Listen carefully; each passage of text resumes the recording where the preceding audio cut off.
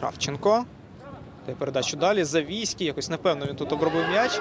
І як наслідок Дніпро і перехопив. Тейлор можна забати у цьому епізоді. Удар по воротах дуже потужний. І Лукас Тейлор робить рахунок 3-0 на користь Дніпра 1. прошив буквально Володимира Кринського.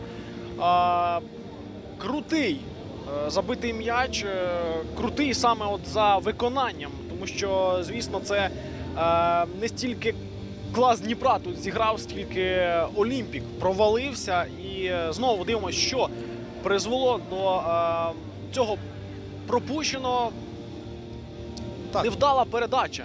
Невдала передача, перехоплення від Назаренка. Гольова передача. Ти якраз казав про те, що не встиг він ще відзначитись. Ось як, будь ласка, відзначився. Не пошкодував е, м'яча, віддав на партнера. Ну і дійсно, як потужно пробив 23-й номер Дніпра 1.